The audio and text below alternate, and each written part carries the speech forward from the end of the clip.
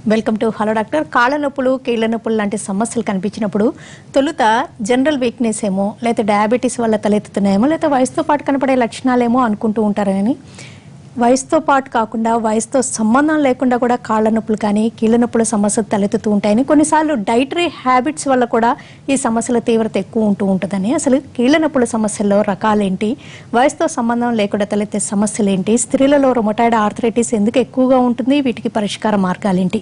ఈ వివరాలు అందించడానికి doctor Kiran's homeo life doctor Sridhar Reddy garu మనతో ఉన్నారు. హలో అండి వెల్కమ్ టు ది షో. ఈ సమస్యలు ఉన్నప్పుడు ఫస్ట్ జనరల్ వీక్నెస్ అనుకుంటుంటారు అంటే టోటల్ బాడీ జాయింట్ పెయిన్స్ ఉన్నప్పుడు అండ్ పర్టికులర్ ఏరియాలో జాయింట్ పెయిన్స్ ఉన్నప్పుడు ఎలా అర్థం చేసుకోవాలి? అంటే జనరల్గా ఫార్టీ ఇయర్స్ దాటిన వాళ్ళలోనే ఈ మోకాల నొప్పులు కానీ జాయింట్ పెయిన్స్ కానీ ఇవన్నీ కామన్గా వస్తుంటాయి. కొంతమందిలో అంటే ఇప్పుడు రుమటైడ్ ఆర్థరైటిస్ కానీ ఇలాంటివి అవి auto immune disorders so rheumatoid arthritis అనేది జనరల్గా హెరిడిటరీగా వచ్చే ఛాన్సెస్ ఎక్కువ ఉంటాయి. అంటే పేరెంట్స్లో ఈ ప్రాబ్లం ఉన్న వాళ్ళ పిల్లల్లో అంటే యంగ్ ఏజ్లో కూడా. అంటే మరీ ఫార్టీ దాటక్కర్లేదు. కొంతమంది ట్వంటీ ట్వంటీ ఫైవ్ థర్టీ ఇయర్స్లో కూడా రుమటైడ్ ఆర్థరైటిస్ వస్తుంటుంది. అంటే దానికి డిఫరెన్స్ ఏంటంటే జనరల్గా ఈ రుమటైడ్ ఆర్థరైటిస్లో ఫస్ట్ స్మాల్ జాయింట్స్ ఎఫెక్ట్ అయ్యి ఆ పెయిన్ అనేది రేడియేట్ అవుతుంది. అంటే ఒక రోజు ఒక జాయింట్లో ఉంటుంది మళ్ళీ కొన్ని రోజుల తర్వాత ఆ జాయింట్లో తగ్గిపోయి ఇంకో జాయింట్లో ఎఫెక్ట్ అవుతుంది. అది ఇప్పుడు ఆస్టియోఆర్థరైటిస్ కానీ లేదంటే ఈ జనరల్గా ఆర్థరైటిస్ ఇలాంటివి ఏంటంటే ఒక పర్టికులర్ జాయింట్ ఇప్పుడు మోకాల నొప్పులు స్టార్ట్ అయ్యాయి ఆస్టియో ఆస్టియో అంటే ఏంటంటే అరగడం అనమాట బోన్స్ కాల్షియం డెఫిషియన్సీ వల్ల కానీ లేదంటే ఆస్టియోపోరోసిస్ అంటే వీక్నెస్ వల్ల కానీ దానివల్ల లేదా ఓవర్ స్ట్రెయిన్ వల్ల కానీ బోన్స్ అరిగిపోతాయి. అంటే జనరల్గా ఇవి ఓల్డ్ ఏజ్లోనే ఎక్కువ ఉంటుంది. ఆఫ్టర్ ఫార్టీ ఫైవ్ ఫిఫ్టీ ఇది స్టార్ట్ అవుతుంది. ఇవి పర్టికులర్ ఒక జాయింట్లోనే ఉంటుంది. అంటే ఇప్పుడు మోకాల్లో వచ్చిందంటే అక్కడే అది అరుగుతూ ఉంటుంది. బట్ రుమటైడ్ ఆర్థరైటిస్ అనేది అది టోటలీ డిఫరెంట్ ఇది ఎమోషనల్ రీజన్ వల్ల వస్తుంది. రుమటైడ్ ఆర్థరైటిస్ ఏంటంటే ఇప్పుడు బాగా ఏదైనా డిసప్పాయింట్మెంట్ కానీ అప్సెట్ కానీ షాక్ కానీ ఏదైనా వాళ్ళు బాగా ఎమోషనల్గా ఫీల్ అయినప్పుడు అప్పుడు బాడీలోని ఇమ్యూనిటీ అనేది ఎఫెక్ట్ అయ్యి అప్పుడు ఈ ఆటో ఇమ్యూన్ డిజార్డర్స్ వస్తాయి. అంటే ఇక్కడ ఏమవుతుందంటే మన బాడీని ఏదైతే ఇమ్యూనిటీ ప్రొటెక్ట్ చేయాలో సేఫ్ గార్డ్ చేయాలో అదే బాడీ మీద అటాక్ చేసి ఈ ఆటో ఇమ్యూన్ డిసీజ్ వస్తుంది. సో ఈ రుమటైడ్ ఆథరైటిస్లో ఈ జాయింట్ పెయిన్స్ ఇవన్నీ స్టార్టింగ్లో వచ్చి తర్వాత తర్వాత ఈవెన్ ఇంటర్నల్ ఆర్గన్స్ అంటే లంగ్స్ కానీ కిడ్నీ కానీ ఇంకా లివర్ కానీ ఇవి కూడా మెల్లమెల్లగా ఎఫెక్ట్ అవుతాయి. సో రుమటైడ్ ఆథరైటిస్ జనరల్గా అలోపతులు ఏంటంటే ఇది ఒకసారి వచ్చింది అంటే ఇంకా అలా అది తగ్గదు. అందుకే ఆటోఇమ్యూన్ డిజార్డర్స్ ఇన్క్యూరబుల్ అది తగ్గే ఛాన్స్ లేదు. ఇంకా అలాగే సఫర్ అవ్వాలి వచ్చినప్పుడు ఆ పెయిన్ కిల్లర్ వాడుతూనే ఉండాలి అని అంటారు. కానీ మా దగ్గర ఏంటంటే మేము ఇమ్యూనిటీ ఏదైతే ఇక్కడ ప్రాబ్లం అవుతుందో ఆ ఇమ్యూనిటీని మళ్ళీ నార్మల్కి తీసుకొస్తాం మా మెడిసిన్ అండ్ ఈ ఎమోషనల్ రీజన్స్ ఏవైతే ఉన్నాయో దాన్ని కూడా మళ్ళీ నల్లిఫై చేసి అంటే రివర్స్లో తీసుకొచ్చి బాడీ ఇమ్యూనిటీ పెంచి ఈ ఆటోఇమ్యూన్ డిజార్డర్ని కంప్లీట్గా సాల్వ్ సొల్యూషన్ ఉంది. కాకపోతే ఏంటంటే దీనికి ఎక్కువ టైం తీసుకుంటుంది. అది త్రీ ఇయర్స్ కానీ ఫోర్ ఇయర్స్ కానీ చాలా కాలం నుంచి ఉండి భారీ భారీ సివియర్గా ఉన్న వాళ్ళు ఫైవ్ ఇయర్స్ కూడా పట్టవచ్చు but hundred percent complete cure అనేది ఉంది. ఈ డైటరీ హ్యాబిట్స్కి రిలేటెడ్గా జాయింట్ పెయిన్స్ ఎలా ఉంటాయి? అండ్ వాటితోటి ఎంతవరకు వాటిని కంట్రోల్లో పెట్టచ్చు అంటారు? డైట్ అంటే జనరల్గా ఇప్పుడు కామన్గా ఆస్టియోపోరోసిస్ కానీ లేదంటే ఈ ఆస్టియోఆర్థరైటిస్ ఇలాంటి వాటిలో జనరల్గా ఏముంటుందంటే విటమిన్ డిఫిషియన్సీ అంటే కాల్షియం డిఫిషియన్సీ ఉంటాయి. సో ఇక్కడ డైట్ సరిగా తీసుకోలేని వాళ్ళు పర్టికులర్గా పూర్ పీపుల్ ఉంటారు. న్యూట్రిషనల్ డైట్ చిన్నప్పటి నుంచి వాళ్ళకి ఆ సప్లిమెంట్స్ అనేది సరిగా లేక తీసుకునే ఆహారంలో కూడా మంచి ఫుడ్ తీసుకోలేక వాళ్ళకి ఈ బోన్స్ వీక్ అయ్యి వాళ్ళలో ఈ జాయింట్ పెయిన్స్ అనేది చాలా ఎర్లీగా వస్తుంటాయి. బట్ జనరల్గా అంటే ఈ ఇంకోటి ఈ ఫాస్ట్ ఫుడ్స్ ఒకటి కూల్ డ్రింక్స్ అని ఏవైతే ఈ ఫాస్ట్ లైఫ్ ఇలాంటివి ఎక్కువ గడిపే వాళ్ళలో కూడా ఈ ప్రాబ్లమ్స్ చాలా ఫాస్ట్గా వస్తాయి. అండ్ ఆల్రెడీ డయాబెటిక్ కానీ ఇంకా థైరాయిడ్ ప్రాబ్లమ్స్ కానీ ఇట్లాంటివి ఏమైనా ఉన్న వాళ్ళలో కూడా ఈ జాయింట్ పెయిన్స్ కానీ ఆర్థరైటిస్ ఇట్లాంటివి అదే ఫాస్ట్గా వస్తాయి. అండ్ ఫిజికల్ యాక్టివిటీ తక్కువ ఉన్న వాళ్ళలో న్యూట్రిషన్తో పాటు ఫిజికల్ యాక్టివిటీ కూడా ఇంపార్టెంట్. సో సప్లిమెంట్స్ అంటే ఆకుకూరలు కానీ క్యాబేజీ ఏవైతే కాల్షియం ఎక్కువ ఉంటుందో ప్రోటీన్ ఎక్కువ ఉంటుందో అవి బాగా తీసుకోవాలి. దాంతోపాటు బాడీ యాక్టివిటీ ఇప్పుడు రెగ్యులర్గా వాకింగ్ ఎక్సర్సైజ్ చేసే వాళ్ళలో బోన్స్ స్ట్రాంగ్గా ఉంటాయి నరాలు స్ట్రాంగ్గా ఉంటాయి మజిల్స్ స్ట్రాంగ్గా ఉంటాయి. అలాగే జాయింట్స్లో కూడా రూబ్రికేషన్ అనేది మంచిగా ఉండి బాగా ఉంటుంది.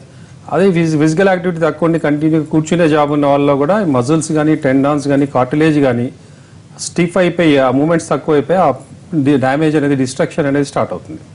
సో న్యూట్రిషన్ ఎక్సర్సైజ్ రెండు ఇంపార్టెంట్ అంటే కొంతవరకు హై ప్రోటీన్ డైట్ తీసుకున్న వాళ్ళలో గౌటి ఆర్థరైటిస్ ఇలాంటి సమస్యలు ఎక్కువ అంటారు కదా అది ఎలా అబ్జర్వ్ అది ప్రోటీన్ అనే కాదు. ఈ గౌటీ కండిషన్స్ ఉన్నలో ఏంటంటే ఆ యూరిక్ యాసిడ్ ఏదైతే ఎక్కువ అవుతుందో జనరల్గా అది ఆల్కహాల్ వలన నాన్ వెజిటేరియన్ వల్ల జనరల్ వెజిటబుల్ ప్రోటీన్ వలన వాటి వల్ల ఏం కాదు. నాన్ వెజిటేరియన్ ప్లస్ అంటే oil particular oily foods then alcohol alcohol అందులోకి మెయిన్గా బీర్ ఎక్కువ తాగే వాళ్ళలో ఈ యూరిక్ యాసిడ్ అనేది పెరిగి ఆ గౌటీ కండిషన్ అనేది ఎక్కువ ఫామ్ అవుతుంది. సో వీళ్ళలో ఫస్ట్ మేము వాళ్ళకి అడ్వైజ్ చేసేది అంటే గౌటి కండిషన్ ఉండి యూరిక్ యాసిడ్ పెరిగిన వాళ్ళలో ఈ కాల్షియం ప్రొడక్ట్స్ ఒకటి తర్వాత ఈ ఆల్కహాల్ నాన్ వెజిటేరియన్ తగ్గిమని చెప్తాం. ప్లస్ ఈ గౌటి కండిషన్ ఉన్న వాళ్ళలో వీటి వలన కిడ్నీ స్టోన్స్ కూడా యూరిక్ యాసిడ్ స్టోన్స్ అంటాం వాటిని అవి కూడా ఎక్కువ ఫామ్ అవుతుంటాయి. సో వీళ్ళు ఆ, వాటిని కంట్రోల్ చేస్తూ మెడిసిన్ వాడితే మళ్ళీ యూరిక్ యాసిడ్ అనేది నార్మల్ లెవెల్కి వస్తుంది. ఈవెన్ గౌటి కండిషన్ కూడా పర్మనెంట్ సొల్యూషన్ ఉంది. జనరల్గా గౌటి కండిషన్ కూడా వచ్చిందంటే యూరిక్ యాసిడ్ లెవెల్స్ కంట్రోల్ చేయడానికి పెయిన్స్ తగ్గడానికి అలోపతిలో టెంపరీ రిలీఫ్ ఉంటుంది. బట్ మేము ఇచ్చే కోర్స్ వల్ల ఈవెన్ గౌటీ కండిషన్ ఈవెన్ కంప్లీట్గా బెడ్ రిడన్ అయిన పేషెంట్స్ కూడా మళ్ళీ నార్మల్గా నడుస్తారు.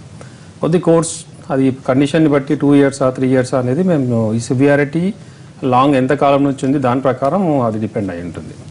ఇతర ఆరోగ్య సమస్యలు కానీ స్కిన్ ప్రాబ్లమ్స్ కానీ లేకపోతే వాటికి వాడే మెడిసిన్స్ కూడా జాయింట్స్ మీద ఎఫెక్ట్ చూపిస్తాయి అంటారా యా ఇప్పుడు ఆ, చాలా మంది ఏంటంటే ఈవెన్ డయాబెటీస్కి కానీ బీపీకి కానీ లేదంటే థైరాయిడ్ ప్రాబ్లం ఉన్నవాళ్ళు లేదంటే ఇప్పుడు హార్మోన్స్ వాడేవాళ్ళు. లేడీస్లో కొన్ని వాళ్ళకి అయితే పిల్లలు పుట్టగా లేదంటే వాళ్ళ మెన్సెస్ రెగ్యులర్గా లేని వాళ్ళు ఈ హార్మోన్స్ టాబ్లెట్స్ వాడుతుంటారు. పీరియడ్ హార్మోన్స్ వేసుకుంటేనే పీరియడ్ వచ్చే కొంతమందికి ఉంటుంది. సో ఇవి రెగ్యులర్గా వాడడం వల్ల కూడా దాని ఎఫెక్ట్స్ బాడీ మీద నరాల మీద కానీ ఈ బోన్స్ మీద జాయింట్స్ మీద కూడా ఎఫెక్ట్ అవుతాయి. సో కంటిన్యూగా ఏ మెడిసిన్ కూడా ఈవెన్ పెయిన్ కిల్లర్స్ కూడా కంటిన్యూగా వాడతాయి సమ్ కొంతమందిలో ఈవెన్ రెగ్యులర్గా వేసుకునే పారాసిటమాల్ దానివల్ల కూడా సైడ్ ఎఫెక్ట్స్ ఉంటాయి. సో ఏవైనా కూడా కంటిన్యూగా కానీ ఓవర్గా కానీ మెయిన్గా ఈ కార్టికోస్టిరాయిడ్స్ కానీ ఇట్లాంటివి అసలు వాడకూడదు. దానివల్ల బోన్స్ వీక్ అయిపోయి డ్యామేజ్ అయ్యి తొందరగా ఏమంటే వృద్ధాప్యం కూడా చాలా ఎర్లీగా వచ్చేస్తుంది. ప్రిమెచ్యూర్ ఓల్డ్ ఏజ్ అంటాం. సో ఓల్డ్ ఏజ్ టైం కంటే కూడా వీళ్ళకి ఫార్టీ ఫిఫ్టీ ఇయర్స్కే ఓల్డ్ ఏజ్గా కనబడడం వీక్ అయిపోవడం నడుము పట్టేయడము ఇవన్నీ జరుగుతాయి. సో ఎంత తక్కువగా మెడిసిన్స్ మీద డిపెండ్ అవుతే అంత మంచిది. గోపాలకృష్ణ గారు కాల్. గోపాలకృష్ణ గారు? నమస్తే అండి చెప్పండి. హలో? నా పేరు గోపాలకృష్ణ నేను. ఎయిట్ మంత్స్ బ్యాక్ నాకు రీప్లేస్మెంట్ ఆపరేషన్ జరిగింది. ఓకే. అయితే తర్వాత నేను వెహికల్స్ కానీ యూజ్ చేయొచ్చా చేయకూడదని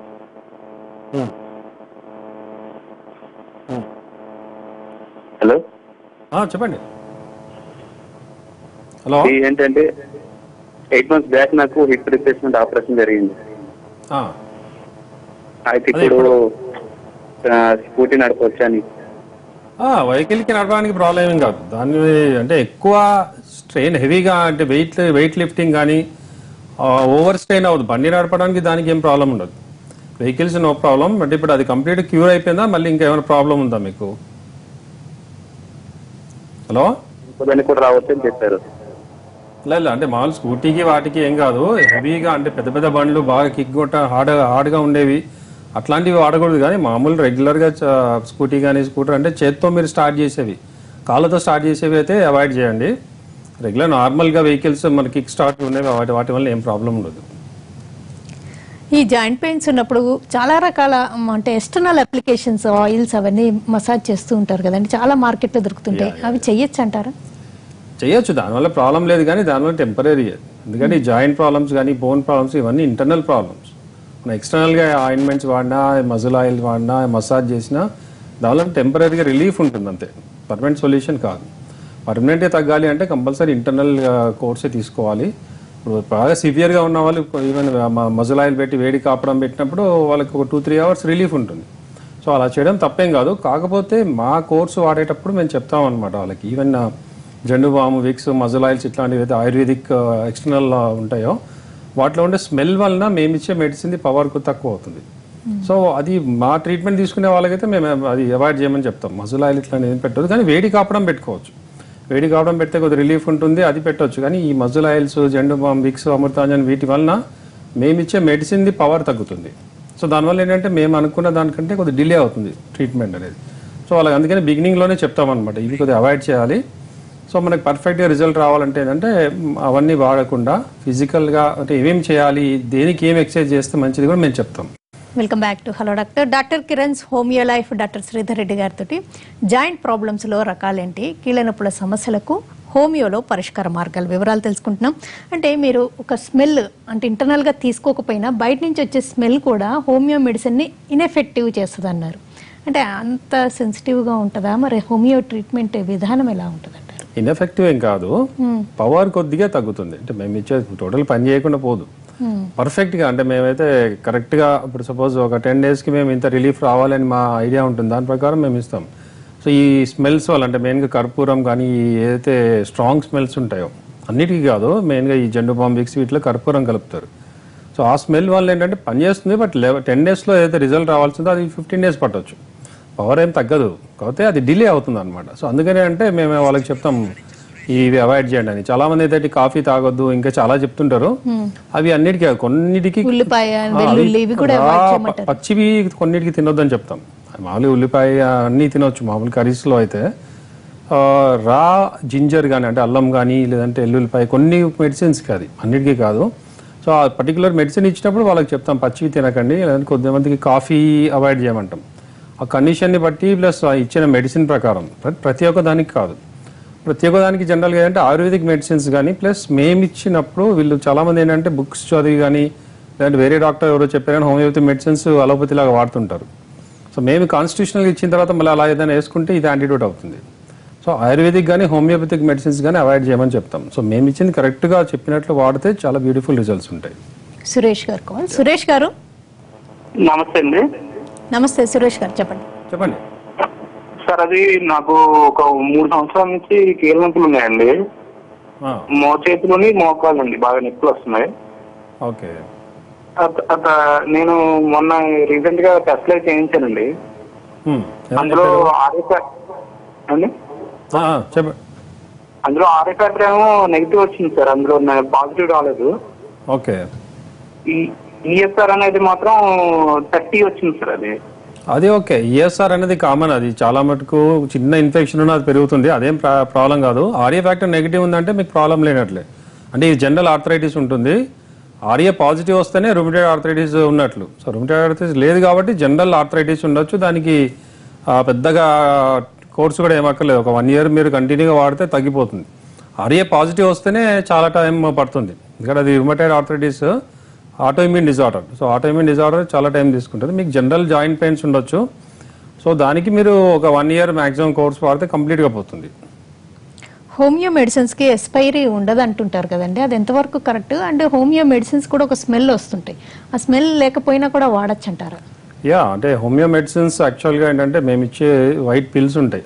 స్వీట్ పిల్స్ వాట్ అవి యాక్చువల్లీ ఏంటంటే క్యారియర్స్ అంటాం. అంటే ఆ మెడిసిన్ క్యారీ చేస్తాయి. బట్ ఒరిజినల్గా దాంట్లో వేసి లిక్విడ్ ఏదైతే ఉంటుందో అది ఆల్కహాల్ బేస్ ఉంటుంది అనమాట ఆల్కహాల్తో ప్రిపేర్ చేస్తారు. సో జనరల్గానే ఆల్కహాల్ అనేది ప్రిజర్వేటివ్. సో ఆల్కహాల్కి ఎక్స్పైరీ ఉండదు. ఎంత ఆల్కహాల్ మామూలుగా వింటుంటాం. Old wine in new bottle అని. సో ఎంత ఓల్డ్ ఆల్కహాల్ ఉంటే అంత పవర్ఫుల్గా ఉంటుంది. సో ఆల్కహాల్కి ఎక్స్పైరీ ఉండదు. సో మా మెడిసిన్ కూడా ఏంటంటే ఆల్కహాల్తో ప్రిపేర్ చేస్తాం కాబట్టి దానికి ఎక్స్పైరీ అనేది ఉండదు. ఓన్లీ థింగ్ ఏంటంటే ఎప్పుడైతే ఈ మెడిసిన్ డైరెక్ట్గా సన్లైట్కి ఎక్స్పోజ్ అవుతాయి అంటే ఎండలో ఎక్స్పోజ్ అవుతే అప్పుడు దాని పవర్ తగ్గుతుంది. సో అందుకనే మేము ఎండకి అవాయిడ్ చేస్తాం దూరం పెడతాం అనమాట ప్లస్ మేము ఇచ్చిన మెడిసిన్ కూడా జనరల్గా ఈ పిల్స్లో లిక్విడ్ కలిపి ఇస్తాము ప్లాస్టిక్ బాటిల్స్ ఇస్తాము అది ట్రాన్స్పరెంట్ ఉంటాయి. సో ఇక్కడ వీటికి ఏం చేస్తామంటే మేము బ్రౌన్ కలర్ పేపర్ కవర్స్ ఉంటాయి దాంట్లో పెట్టిస్తాం. ఎందుకంటే దీనికి ఎండ తగిలినా కూడా ఆ బ్రౌన్ కలర్ వలన ఆ పిల్స్కి ఏం కాదనమాట ఆ మెడిసిన్కి ఎక్స్పోజ్ కాకుండా చాలామంది ఏంటంటే తెలియకుండా ట్రాన్స్పరెంట్ uh, కవర్ ఇచ్చి పంపిస్తారు. అది ఒకవేళ ఎండలో తగిలితే ఆ ట్రాన్స్పరెంట్ నుంచి ఎండ తగిలి దాని పవర్ తగ్గిపోతుంది. సో వాళ్ళకి చెప్పాలన్నమాట ఎండకి ఎక్స్పోజ్ కాకూడదు. కొంతమంది డైరెక్ట్గా తీసుకెళ్ళి అలవాటు ప్రకారం ఫ్రిడ్జ్లో పెడతారు. అది కూడా పెట్టకూడదు అనమాట ఇవి మామూలుగా కబోర్డ్లో పెట్టుకోవాలి. ఎందుకంటే దీనికి ఎక్స్పైరీ ఉండదు దీన్ని ప్రిజర్వ్ చేయాల్సిన అవసరం లేదు. అండ్ ఏదైతే ఆ పిల్స్ ఉంటాయో ఈ లిక్విడ్ని అబ్జర్వ్ చేసేసుకుంటుంది. సో కొన్ని రోజుల తర్వాత ఇప్పుడు మేము వన్ మంత్కి పేషెంట్స్కి ట్రీట్మెంట్ ఇస్తే కూడా వాళ్ళు టెన్ డేస్ తర్వాత ఫిఫ్టీన్ డేస్ తర్వాత డ్రై అయిపోతున్నాయి సార్ మెడిసిన్ అని అడుగుతారు. సో ఆ ఎక్స్ట్రా అనేది ఎవాపరేట్ అయిపోతుంది. ఆ ఉన్న మెయిన్ మెడిసిన్ అంతా అబ్జర్వ్ చేసుకునే పిల్స్ ఎక్స్ట్రా మెడిసిన్ ఎవాపరేట్ అవుతుంది. సో అలాగే మనం దాన్ని ఎండకి ఎక్స్పోజ్ కాకుండా జాగ్రత్త పెట్టుకుంటే ఈవెన్ టెన్ ఇయర్స్ అయినా కూడా దాని పవర్ తగ్గదు. సో ఎక్స్పైర్ అనేది ఉండదు. అలాగే సేమ్ పవర్తో మన టెన్ ఇయర్స్ తర్వాత కూడా పనిచేస్తుంది medicine Venkatesh garu call Venkatesh garu? Hello madam. నమస్తే అండి చెప్పండి. హలో? Hello doctor sir. చెప్పండి. ఇది నాకు రెండు భుజాలు చాలా నొప్పులు ఉన్నాయి. లెఫ్ట్ సైడ్ చెయ్యి పైకి లేపనివ్వదు. ఫ్రోజన్ షోల్డర్ ఆ, మొత్తం పట్టేసినట్లు అయిపోతుంది. ఎడమ కాలు ఎప్పటి నుంచి ఉంది ప్రాబ్లం? పట్టేసినట్టుంది. హలో? ఓకే. ఓకే. ఓకే, అంటే ఇది- డయాబెటిక్ అయి ఉండొచ్చా? అయి ఉండకపోయినా కూడా డయాబెటిక్ సమస్య అనే కాదు. కొంతమందిలో ఏంటంటే అంటే ఈ సేమ్ జాయింట్స్ లోపల వీక్నెస్ ఉండడం కార్టిలేజెస్లో స్ట్రెంత్ లేకపోవడం ఎలాస్టిసిటీ తగ్గిపోయినప్పుడు వీళ్ళు అంటే కంటిన్యూగా అప్పుడు చాలా మంది వన్ సైడ్ పడుకుంటారు. ఇప్పుడు ఈ చేతి మీద పడుకునే అలవాటు కొంతమందికి ఈ చేతి మీద ఇతనికి లెఫ్ట్ సైడ్ అన్నారు ఇందాక. సో అలా కూడా ఒక్కోసారి పట్టేసి లేసి ఈ నరాలు అనేది ఫిక్స్ అయిపోతాయి. బాగా ఫ్రీజ్ అయిపోయి స్టిఫ్నెస్ వస్తుంది. సో దానివల్ల ఏంటంటే చెయ్యి వాళ్ళు పైకి లేపలేక ఇక్కడ దాకా లేపగానే పట్టేయడం పెయిన్ రావడము దీన్ని ఫ్రోజన్ షోల్డర్ అంటాం. ప్లస్ అతనికి దీంతో పాటు లెఫ్ట్ లెగ్ కూడా పెయిన్ ఉంది అంటారు సో వన్ సైడ్ వాళ్ళకి కొంతమందిలో సైడ్ రైట్ వీక్గా ఉంటుంది కొంతమందికి లెఫ్ట్ సైడ్ వీక్గా ఉంటుంది. సో దానివల్ల కూడా ఈ ప్రాబ్లమ్స్ వస్తాయి. దీనికి కూడా ఈవెన్ ఫ్రోజన్ షోల్డర్ కొంతమంది అసలు టోటల్గా లేపలేని వాళ్ళకి కూడా మళ్ళీ నార్మల్ పొజిషన్ వస్తుంది మా మెడిసిన్ ద్వారా. దీనికి కూడా పెద్దగా కోర్స్ అక్కర్లేదు. ఒక వన్ ఇయర్ కంటిన్యూ కోర్స్ వాడితే నార్మల్గా టోటల్గా కాళ్ళు కానీ షోల్డర్ కానీ ఎవ్రీథింగ్ పర్ఫెక్ట్గా అయిపోతుంది. నరాలు ఏమైనా ఎఫెక్ట్ ఉన్నా నార్మల్ అవుతుంది మజిల్స్ టెండాన్స్ కార్టిలేజ్ ఏమున్నా కూడా అన్ని మళ్ళీ నార్మల్ పొజిషన్కి వచ్చేస్తుంది. బెంగళూరు నుంచి సత్యనారాయణ గారు కాల్. సత్యనారాయణ గారు? హలో. మరో షార్ట్ బ్రేక్ తీసుకుందండి బ్రేక్ తర్వాత. హోమియో ట్రీట్మెంట్ తోటి అంటే దాదాపు వంద రకాలుగా ఉండే కీళ్ళనొప్పుల సమస్యలో సమస్యలు వేటికి బాగా Kiran's homeo life doctor Sridhar Reddy గారితో కీళ్ళనొప్పుల సమస్యలకు హోమియోలో పరిష్కార మార్గాలు వివరాలు తెలుసుకుంటున్నాం. దాదాపుగా వంద రకాలకు పైగా ఉండే సమస్యల్లో వేటికి హోమియో బాగా పరిష్కారం చూపించగలదంటారు? అలానే లేదు. హోమియోపతిలో ప్రతి ఒక్క దానికి ఉంది ట్రీట్మెంట్. అంటే ఇప్పుడు జనరల్ ఆర్థరైటిస్ లేదంటే రుమటైడ్ ఆర్థరైటిస్ అంటే కండిషన్ని బట్టి. ఇప్పుడు చిన్న చిన్న ప్రాబ్లమ్స్ అయితే తొందరగా అయితే కంట్రోల్ అయిపోతాయి. డీప్ ఆస్టియో ఆర్థరైటిస్ అనుకోండి అంటే బోన్స్ అనేది డ్యామేజ్ అయ్యి అరిగి అది ప్రాబ్లం అవుతుంది. సో ఇవి అరిగింది మళ్ళీ నార్మల్కి రావాలి. అంటే డీజనరేషన్ ఏదైతుందో ఉందో అది కంట్రోల్ అవ్వాలి ఫస్ట్ తర్వాత మళ్ళీ రీజనరేట్ కావాలి. ఏదైతే అరిగిపోయిందో దాన్ని మళ్ళీ నార్మల్కి తీసుకురావాలి కాబట్టి దీనికి కొద్దిగా టైం పడుతుంది. త్రీ ఫోర్ ఇయర్స్ కానీ ఫైవ్ ఇయర్స్ కానీ కండిషన్ బట్టి ఏజ్ని బట్టి. అదే రిమోటైడ్ ఆర్థరైటిస్ కూడా ఆటో ఇమ్యూన్ డిసార్డర్ కాబట్టి దీనికి కూడా ఏంటంటే ఇమ్యూనిటీ మళ్ళీ నార్మల్కి తీసుకురావాలి ఆటో ఇమ్యూనిటీ ఎఫెక్ట్ పోవాలి కాబట్టి దీనికి కూడా కొద్ది టైం పడుతుంది. అంతేగాని ప్రతి ప్రాబ్లంకి ఈవెన్ క్యాన్సర్కి కూడా మన ట్రీట్మెంట్ ఉంది. బట్ కండిషన్ని బట్టి ఒకవేళ ఇనీషియల్ స్టేజ్లో అంటే ఫస్ట్ స్టేజ్లో వస్తే హండ్రెడ్ పర్సెంట్ కంప్లీట్గా పోతుంది చాలా ఫాస్ట్గా. సెకండ్ స్టేజ్లో ఉంటే ఇంకొద్ది టైం ఎక్కువ పడుతుంది. అలా కండిషన్ని బట్టి ఈవెన్ ఎయిడ్స్ కూడా ఈవెన్ మన ఇప్పుడు రామంతపూర్లో కాలేజీలో కూడా వాళ్ళు చాలా రీసెర్చ్లు చేస్తున్నారు. ఎన్నో number of cases AIDS immunity count కూడా కంట్రోల్ అవుతుంది. కొన్ని థౌజండ్స్ ఆఫ్ కేసెస్ ట్రీట్ చేస్తున్నారు. అంటే ఇవి క్యాన్సర్ ఎయిడ్స్ ఇలాంటివి ప్రాణాంతకమైన అట్లాంటి వాటికి కూడా మా దగ్గర హోమియో తీసుకుంటూ ఉంటే ఆ కౌంట్ అది పెరగడం తీవ్రత. అన్ని నార్మల్గా వస్తాయి. ఈవెన్ మేము ఎన్నో ట్రీట్ చేసాం హెచ్ఐవి కేసెస్ కంప్లీట్ నెగిటివ్ వచ్చే వచ్చిన పేషెంట్స్ చాలా మంది ఉన్నారు సో హోమియోపతి ఓన్లీ వీటికే లిమిటెడ్గా పనిచేస్తుంది అని ఏం లేదు. కొన్ని సర్జికల్ కేసెస్లో ఎమర్జెన్సీస్లో మేము ఏంటంటే అది ఎమర్జెన్సీ కాబట్టి రిస్క్ ఎందుకు అని చెప్పి మేము ఆపరేషన్ అంటే ఆపరేషన్ కానీ లేదంటే వెంటిలేటర్స్ ఇలాంటివి అవసరం ఉన్నప్పుడు అది మేము అవాయిడ్ చేస్తాం.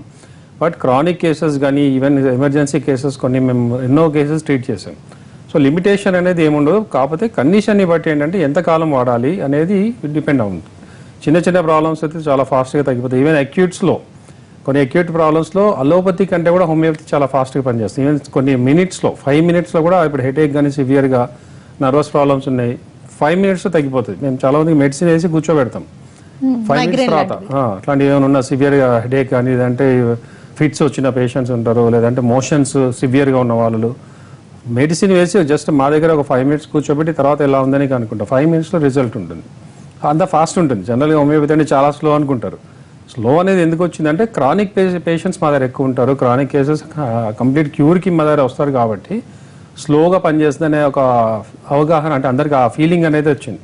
యాక్చువల్లీ తీసుకుంటే హోమియోపతి పేషెంట్స్ మేము నాలుగు మీద డ్రాప్స్ ఏదైతే వేస్తామో వేసిన సెకండ్స్లోనే దాని యాక్షన్ అనేది స్టార్ట్ అవుతుంది. సో ఫైవ్ మినిట్స్లోనే వాళ్ళ రిజల్ట్ అనేది కనబడుతుంది. సో అక్యూట్ కేసులు అందుకనే మేము అక్యూట్ కేసెస్ కూడా చాలా మటుకు తీసుకుంటాం. ఎమర్జెన్సీస్లో కూడా ఇస్తుంటాం. మేము ఇది ఇంతకుముందు ఏదంటే భయపడే వాళ్ళు అక్యూట్ కేసెస్ అంటే ఎందుకు ఎమర్జెన్సీకి పంపించేవాళ్ళు. మేము ఈవెన్ ఎమర్జెన్సీ కేసెస్ కూడా ట్రీట్ చేస్తుంటాం. సంగారెడ్డి నుంచి రఘు గారు కాల్. రఘు గారు? హలో. రఘు గారు చెప్పండి. హలో. సార్ ఆ, సార్తో మా- సార్. ఆ, చెప్పండి. ఈ వాతం అంటే కీళ్ళ వాతము వాతము రెండు వేరా సార్? జనరల్ వాతం అంటే అది ఇంటర్నల్గా కీళ్ళ వాతం అంటేనే ఈ ఆర్థరైటిస్ కానీ వీటికి సంబంధించింది. అంటే వాతం అంటే కొంతమందికి గ్యాస్ లాగా కానీ పడకపోవడం కానీ ఏదో తింటే వాతం అయింది అంటుంటారు. అది వేరే. అది ఆయుర్వేదిక్లో జనరల్గా వాతం పిత్తం అని ఏదో అంటుంటారు. ఇది ఆ కీళ్ళవాతం అనేది మన జాయింట్ సంబంధించింది ఆర్థరైటిస్ ఇన్ఫ్లమేషన్ అన్నమాట ఇక్కడ. ఇన్ఫ్లమేషన్ అయ్యి స్వెల్ అయ్యి రెడ్నెస్ అయ్యి పెయిన్ ఇవన్నీ ఉంటాయి. స్టిఫ్నెస్ ఇది కీళ్ళవాతం. సోరియాటిక్ ఆర్థరైటిస్ లాంటి కండిషన్స్లో అంటే ఆర్థరైటిస్తో పాటు సోరియాసిస్ కూడా కంట్రోల్లోకి వస్తుంది అంటారా యా జనరల్గా ఈ సోరియాటిక్ ఆర్థరైటిస్ అనేది క్రానిక్ కండిషన్ అది. మెయిన్గా సైడ్ ఎఫెక్ట్ అంటే ఇప్పుడు సోరియాసిస్ అనేది సరిగా ట్రీట్ కానప్పుడే ఆర్థరైటిస్ ఎఫెక్ట్ అవుతుంది. డైరెక్ట్గా ఆర్థరైటిస్ వచ్చి సోరియాసిస్ వచ్చి చాలా రేర్. సో సోరియాసిస్ అనేది బిగిన్ అయ్యి కొన్ని సంవత్సరాలు అది ఒక ఫైవ్ ఇయర్స్ టెన్ ఇయర్స్ బాగా సివియర్గా వచ్చి కంట్రోల్ కానప్పుడు అవి ఆర్థరైటిస్ స్టార్ట్ అవుతుంది.